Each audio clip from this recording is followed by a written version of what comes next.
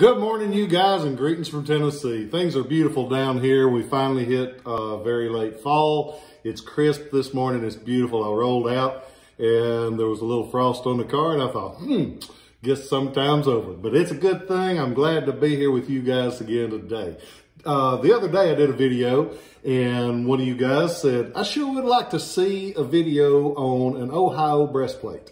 And I thought, well, next time I get one, I'll do it. Bought one last weekend at the show in Gettysburg. Man, it was a great show. There was a lot of attendance. Uh, there was a lot of buzz in the room. People were buying and selling and trading. Saw some wonderful things. Talked to some wonderful friends I hadn't seen in a while. And it's always good to go to Gettysburg. If you get a chance, it's a great place. Uh, got to see my buddies at the Horse Soldier up there. Good folks. If you get through there, be sure to stop in there And Brendan sent them in there at Union Drummer Boy. Uh, today, we're going to talk about uh, these two plates. They're very simple. One of them is very simple and very common. The other one is very not.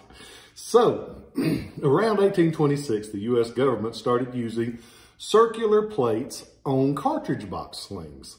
And normally they'll look like this.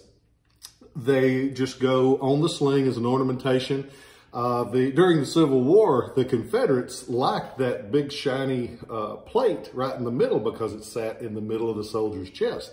They called it a Yankee bullseye. And it gave them a target to shoot at. So a lot of times that's why you see them discarded because would you really want to walk around with a target right in the middle of your chest uh, with, with folks shooting at you? I think not. But most all the time, they have an eagle on them like this. This is the standard U.S. Eagle breastplate. Um, neat plate. You can buy them for usually under $200.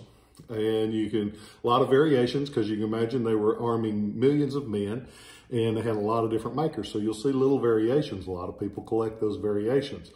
Uh, but the state of Ohio uh, which was admitted to the Union in 1803, decided they needed their own. And with the regulations of 1859, the state uh, general regulations for military, they uh, used a seal. And it's neat because I didn't realize until I started researching this that the Great Seal uh, that we know for the state of Ohio wasn't adopted until 1867. So these were made before that, which helps to explain. Everybody's like, oh, they sent so many soldiers from the state of Ohio. I want to get me an Ohio button. Nope. There's a couple out there, but they are rarer than hen's teeth. So you don't see many of them. And that's why it wasn't the official state emblem until 1867. But with those 1859 regulations, they used this plate. Check that out. Isn't it cool? It's got a great design. It's one of the prettiest detailed designs that you'll ever see. And uh, it has a wreath around the outside of the whole thing. Um, and it's got a sheaf of wheat. I always have trouble saying sheaf. Doesn't sound right. They got a bunch of wheat and they've got a canal and a canal boat and a bundle of arrows. And that sheaf of wheat, I said it right that time, proud of myself, uh, that was to represent agriculture, which was so important in Ohio and still is today. Uh, the Buckeye State up there, they had these plates, but most every time that you see them, they're very low units, uh, meaning that they were probably all made pre-Civil War, like a lot of the state seal pieces were. Uh, which is why you don't see them in those later war battlefields. You see them during the early campaigns, the uh, Fort Donelson, uh, where those guys went down. Shiloh, you see them excavated here. Those early battles, because these guys, they used them, uh, they got rid of them because of the target that they caused uh, and for usual wear. So you don't see many of them, and you especially don't see them looking like this. You don't see them in that minty kind of condition. And I don't use that word a lot because most of the stuff that I buy isn't minty, but this one is. And when you look at the soldier that this is attributed to, it's a soldier in the uh, 67th, uh, or I got dyslexic there for a second, in the 76th Ohio, which was a, a early war Ohio unit. The guy enlisted uh, in November of 61 and was discharged for disability in December of 62. So he didn't wear it the whole war, and that explains why it looks like this. And for, uh, he, but he did keep it because he, he wore it for a year. but it's great shape. It's non-excavated. Most of the ones that you see are excavated and most of the ones you see have had restoration. Uh, and again, about restoration. I never mind restoration as long as I know it and as long as it is priced accordingly.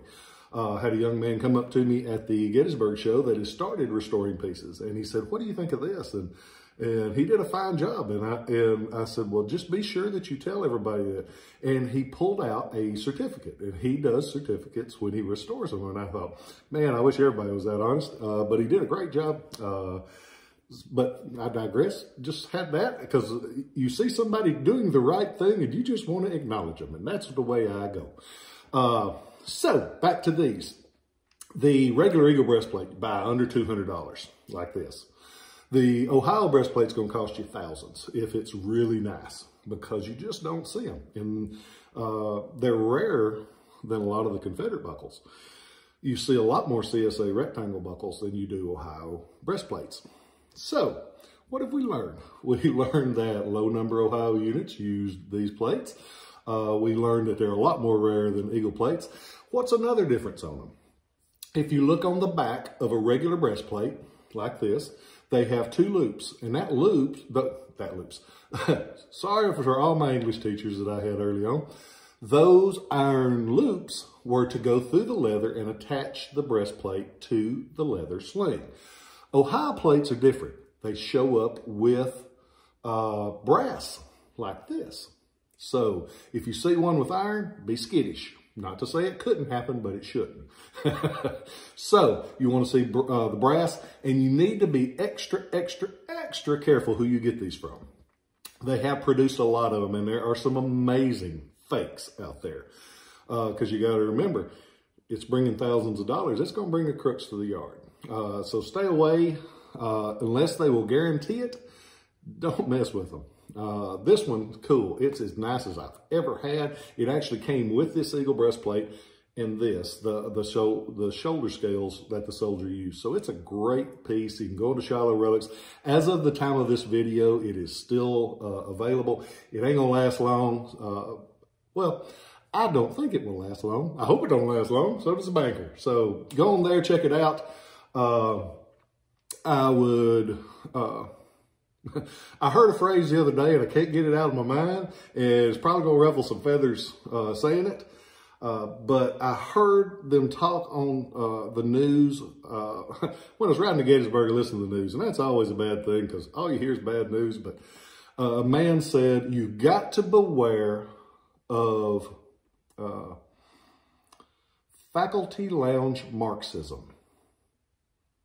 And I heard it and I thought, I've never heard those three words put together in that kind of direction. Faculty lounge Marxism.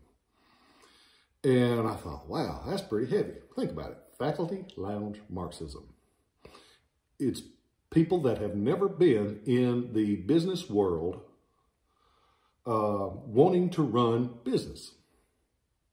It's people that uh, that I really do think most of them mean well. But you have to beware of faculty lounge Marxism because entrepreneurship is what made America the country that it has been for over 250 years.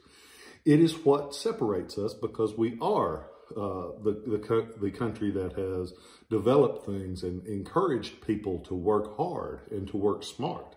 And here lately, we are encouraging them to be dumb to not work hard, and to be given things. Those three things are not right. We do not need faculty lounge Marxism or any Marxism. Uh, a friend of mine up there talked about uh, when they asked Ronald Reagan about, and I don't, I won't get it exactly correct, but you'll get to get, you'll get the, the gist. Uh, they said, uh, basically, the people that argue for communism have never been communists. And the best uh, promoter for democracy is somebody that has been a true communist because true communism doesn't work. America is not communist. And hopefully, with the help of everybody, it will not. But I digress. I hope you guys are well. Remember to tell those that you love them that you love them. Be thankful for what you got because we all got a lot more than than we probably deserve. We uh, are thankful. And I love you guys, and I'll catch you next time. Have a great day.